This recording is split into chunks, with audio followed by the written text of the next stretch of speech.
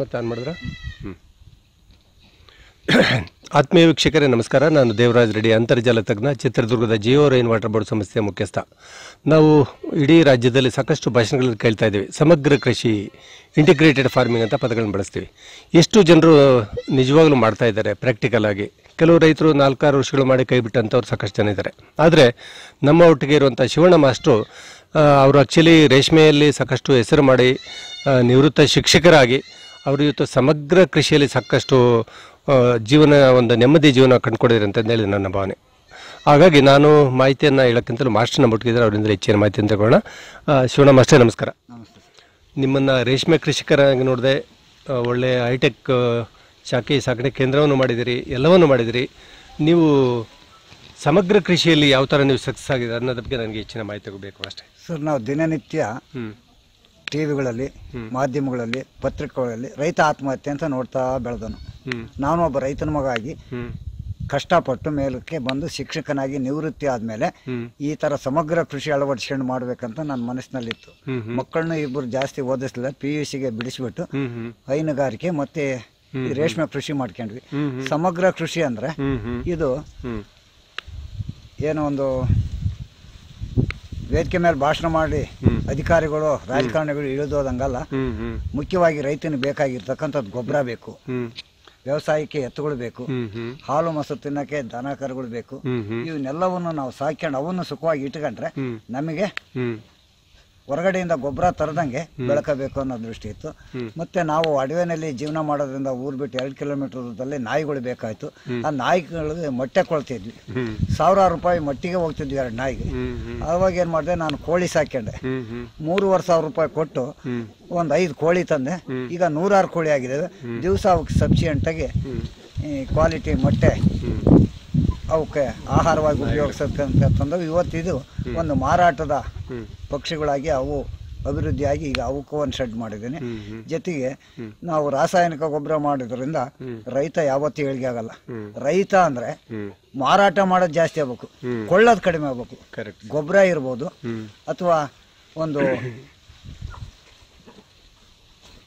ವ್ಯವಸಾಯಕ್ಕೆ ಬೇಕಾಗಿದ್ದ ಔಷಧಿಗಳಾಗ್ಲಿ ಉಪಯೋಗಿಸಲೇಬಾರ್ದು. ನಾವು ಸಾವಯವ ನಮ್ಮ ದನವಿನ ಗೊಬ್ಬರ ಉಪಯೋಗಿಸಿದ್ರೆ ಯಾವ ಒಂದು ರೋಗ ರುಜಿನಗಳು ನಮಗೆ ಬರಲ್ಲ.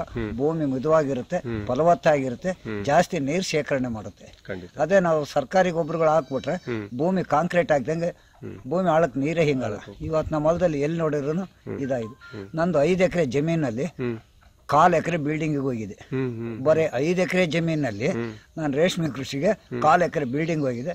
ಇನ್ನು ಕಾಲು ಎಕರೆ ಮೂವತ್ತು ಕುರಿ ಮೇಕೆ ಹತ್ತು ದನ. ನಲವತ್ತಕ್ಕೆ ಕಾಲು ಎಕರೆ ಮೇವೆ ಸ್ಟಾಲ್ ಫೀಡಿಂಗ್ ಸಾಕಾಗುತ್ತೆ. ಟ್ವೆಂಟಿ ಫೋರ್ ಅವರ್ಸ್ ಮೇಯಿಸಿದ್ರು ಕಟ್ಟಿ ಸಫಿಷಿಯೆಂಟ್ ಆಗುತ್ತೆ. ಅಲ್ಲಿ ನಾವು ಮೂವತ್ತು ಕುರಿ ಮೇಕೆ ಇರೋದು ಅಡವೆಗೆ ಹೋಗಿ ಮೇಯಿಸ್ಕೊಂಡ್ ಬರ್ತಾರೆ. ಅದು ಅರ್ಧ ಗೊಬ್ಬರ. ನನಗೆ ಮೂವತ್ತರಿಂದ ಅರವತ್ತರ ಗೊಬ್ಬರ ಸಿಕ್ಕಂಗಾಯ್ತು. ಹಗಲು ರಾತ್ರಿ ಅಲ್ಲಿ ಮೇಯ್ದ ಸಗಣಿ ಹಾಕೋದ್ರಿಂದ ಈ ಥರ ನಾವು ಹಾಲು ಮೊಸರು ಎಂಟು ಹತ್ತು ಲೀಟ್ರ್ ಕರೆದ್ರೂ ನಾವು ನಾಯಿಗೆ ಮನುಷ್ಯರಿಗೆ ಉಪಯೋಗಿಸ್ತೀವಿ.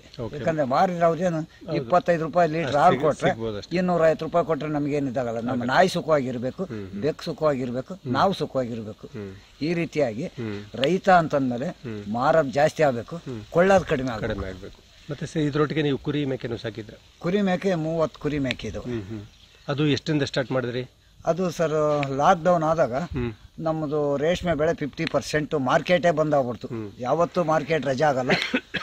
ಮೊದಲೇ ಲಾಕ್ಡೌನ್ ಆದ ತಕ್ಷಣ ಅದು ಬಂದಾದಕ್ಕೆ ನಮ್ಗೆ ಐದು ಎಕರೆ ರೇಷ್ಮೆ ಸ್ವಲ್ಪ ವೇಸ್ಟ್ ಆಗೋ ಪರಿಸ್ಥಿತಿ ಬಂತು. ಒಂದು ಲಕ್ಷ ರೂಪಾಯಿ ಖರ್ಚು ಮಾಡಿ ಅಟ್ಟ ಮಾಡಿ ರೀಪರ್ ಹಾಕಿ ತಂದು ಬಿಟ್ವಿ ಮೂವತ್ತು ಕುರಿ ಮೇಕೆ. ನಾನು ಅರವತ್ತು ಸಾವಿರ ರೂಪಾಯಿ ಕೊಟ್ಟು ಐದು ಮೇಕೆ ತಂದಿದ್ದೆ. ಇವತ್ತು ಅವೇ ಮೂವತ್ತಾಗಿದ್ದಾವೆ ಒಂದೇ ವರ್ಷಕ್ಕೆ. ಒಂದು ವರ್ಷನೂ ಆಗಿಲ್ಲ ಆರೇಳು ತಿಂಗಳಲ್ಲಿ. ಒಂದು ಹದಿಮೂರು ಟಗರು ತಂದಿದ್ವಿ. ಐದೈದು ಸಾವಿರ ರೂಪಾಯಿ ಕೊಟ್ಟು. ಈಗ ಹನ್ನೆರಡು ಹದಿನೈದು ಸಾವಿರ ರೂಪಾಯಿ ಒಂದು ಹೋಗುತ್ತೆ ಎಂಟು ತಿಂಗಳಿಗೆ. ಈ ಥರ ಅವು ನಿಂತ ಹತ್ರನೇ ಮೇಯ್ತಾರೆ. ಬೇಕಾದಂಗ ಅವಕ್ಕೆ ಸುಖವಾಗಿ ನಾವು ಸಾಕೊಂಡ್ರೆ ಹ್ಮ್. ಅವು ನಾವು ರೈತ ಬೇಲೂರು ಅನ್ನೋದೇ ಇಲ್ಲ ಸುಸ್ಥಿರ ಕೃಷಿ.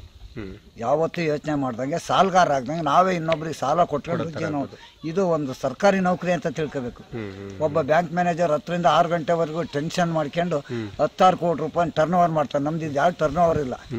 ನಾನೇ ಮ್ಯಾನೇಜರ್ ನಾನೇ ಆಳು.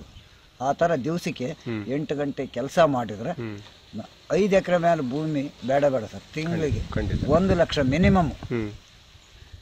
ವರ್ಷಕ್ಕೆ ಹತ್ತರಿಂದ ಇಪ್ಪತ್ತು ಲಕ್ಷ ರೂಪಾಯಿ ಐದು ಎಕರೆಗೆ ರೇಷ್ಮೆಗೆ ನಾವು ಇಷ್ಟೊಂದು ದನ ಕರ ಕಟ್ಕೊಂಡು ಜೀವನ ಮಾಡ್ಬೋದು ಸುಖವಾಗಿ.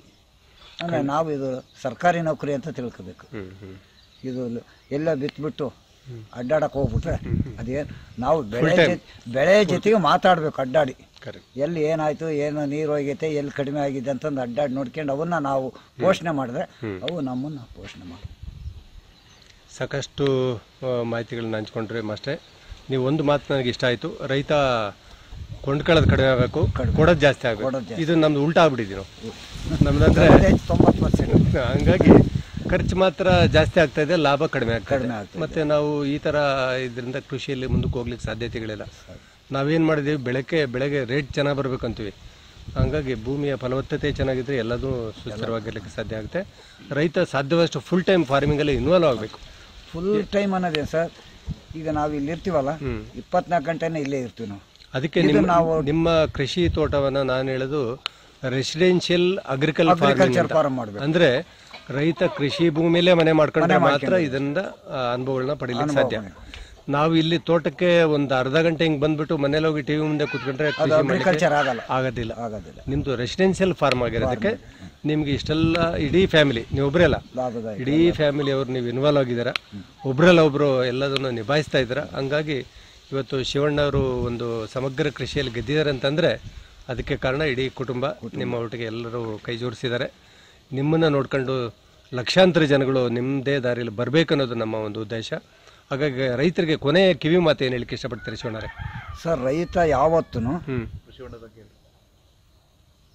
ಬೇಡನಾಗಬಾರ್ದು. ಕೈ ಎತ್ತಿ ಕೊಡಬೇಕು. ಇವತ್ತು ಏನು ರೇಟ್ ಇದೆ ಇಲ್ಲಿ ನೂರು ರೂಪಾಯಿ ಕೆ ಜಿ ಮೆಣಸಿನ್ಕಾಯಿ ತಂದಾಗಲೂ ನಾಲ್ಕು ಜನ ಲೇಬರ್ ಬಂದಾರಂದ್ರೆ ತಲಾಕ್ ಒಂದು ಕೆ ಜಿ ಮೆಣಸಿನ್ಕಾಯಿ ಕೊಟ್ಟು ಅವ್ರಿಗೆ ಇನ್ನೂರು ರೂಪಾಯಿ ಲೇಬರ್ ಕೊಟ್ಟು ನಾವು ಬೆಳೆದಿದ್ದೆಲ್ಲ ಅವ್ರಿಗೆ ಕೊಡ್ತೀವಿ. ಇವತ್ತು ರೈತನ ಪರಿಸ್ಥಿತಿ ಏನಾಗಿದೆ ಅಂದರೆ ಹೊಲ ಅಂದರೆ ನೆಂಟ್ರ ಮನೆಗೆ ಹೋಗಿ ಬಂದಂಗೆ. ತೋಟ ಜಮೀನು ಅಂದರೆ ನೆಂಟ್ರ ಮನೆಗೆ ಹೋಗಿ ಬಂದಂಗೆ. ಒಂದ್ಸರಿ ಹೋಗಿ ಬಿತ್ತನೆ ಮಾಡಿ ಬಂದ್ಬಿಟ್ರೆ ರೈತನಿಗೆ ಲಾಭ ಬಂದ್ಬಿಡ್ಬೇಕು. ಆಮೇಲೆ ಪ್ರತಿಯೊಬ್ಬ ರೈತರು ಒಂದೇ ತರ ಬಿತ್ತನೆ ಮಾಡ್ತಾರೆ. ಅದು ತಪ್ಪು. ಆಮೇಲೆ ಹೋಗಿ ಒಟ್ಟಿಗೆ ಅವ್ರಿಗೆ ಕೇಳಿದಷ್ಟು ರೇಟಿಗೆ ಕೊಟ್ಟು ಬರೋದು. ಈ ರೀತಿ ಕುರಿ ಕೋಳಿ ಮೇಕೆ ಹಸು ಎಮ್ಮು ಎಲ್ಲ ಈಗ ನಮ್ಮ ಹತ್ರ ಬಂದು ಪರ್ಚೇಸ್ ಮಾಡ್ತಾರೆ. ಒಂದು ಕೋಳಿನ ಎಂಟ್ನೂರು ರೂಪಾಯಿ ಮಾರ್ತೀವಿ ನಾವು. ಹುಟ್ಟಿ ಆರು ತಿಂಗಳು ಹನ್ನೆರಡು ಹುಂಜೆ ಇದಾವೆ. ಹನ್ನೆರಡು ಸಾವಿರ ರೂಪಾಯಿ ನಮ್ಮ ಲೇಬರ್ ಬಂದೋಯ್ತು. ಈ ರೀತಿ ನಾವು ಕಡಿಮೆ ಕೊಳ್ಳಬೇಕು ಜಾಸ್ತಿ ಮಾರಾಟ ಮಾಡಬೇಕು. ಒಂದೇ ಥರ ಬೆಳೆದ್ರೆ ಯಾರಾಗಲ್ಲ. ಎಲ್ಲರೂ ತಮಟೆ ಹಾಕ್ಕೊಂಡು ಕುಂತ್ಕೊಂಡ್ಬಿಡ್ತಾರೆ. ತಮಟೆ ಕೇಳರಿಲ್ದಂಗೆ ವಿಡಿಯೋದವ್ರನ್ನ ಕರೆಸಿ ರೋಡಿಗೆ ಸುರಿತಾರೆ. ಈ ಥರ ಆಗಬಾರ್ದು ರೈತ. ರೈತನಲ್ಲಿ ಒಗ್ಗಟ್ಟಿಲ್ಲ. ಶಿವಣ್ಣರ ಹತ್ರ ಮಾತಾಡ್ತಾ ಹೋದ್ರೆ ಎಷ್ಟು ಸಾಲದು. ಯಾಕಂದರೆ ಅವರ ಜೀವಮಾನದ ಸಾಧನೆ ಅದು. ನಿವೃತ್ತ ಶಿಕ್ಷಕರು ವೈದ್ಯರು ಮತ್ತು ಸಮಗ್ರ ಕೃಷಿ ಪಂಡಿತರು ಇಷ್ಟೆಲ್ಲ ಅವ್ರಿಗೆ ಎಷ್ಟು ಹೇಳಿದ್ರು ಸಾಲದು. ಶಿವಣ್ಣ ಸರ್ ನಿಮ್ಮ ಮಾತುಗಳನ್ನ ವಿಡಿಯೋನ ಸಾಕಷ್ಟು ಜನರು ನೋಡೋರಿದ್ದಾರೆ ನಿಮ್ಮನ್ನ ಸಂಪರ್ಕ ಮಾಡಬೇಕಾ ನಿಮ್ಮ ವಿಳಾಸ ಸ್ವಲ್ಪ ತಿಳಿಸ್ಬಿಡಿ. Nine double zero eight nine eight five nine one four. Siddhavanadurga Siddhavanadurga Chitradurga taluk. Taluk. Thank you Shivanna ನಮಸ್ಕಾರ.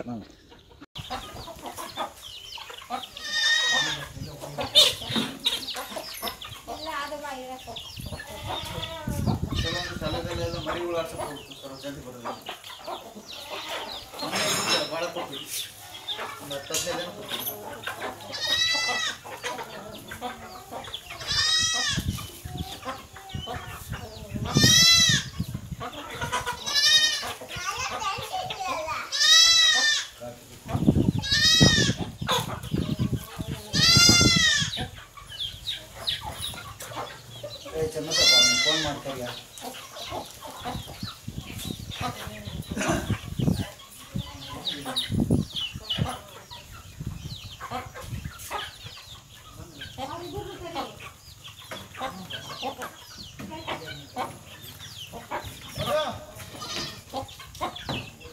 ಅಲ್ಲ?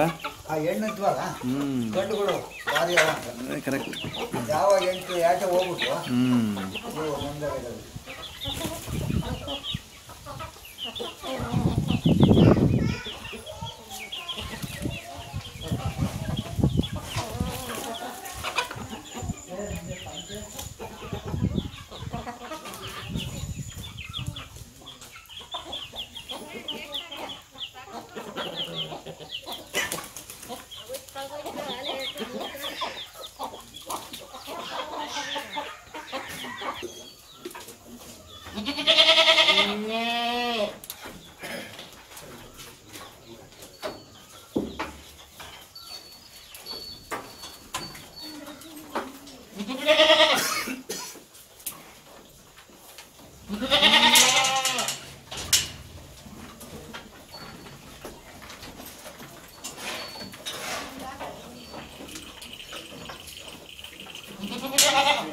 Gracias.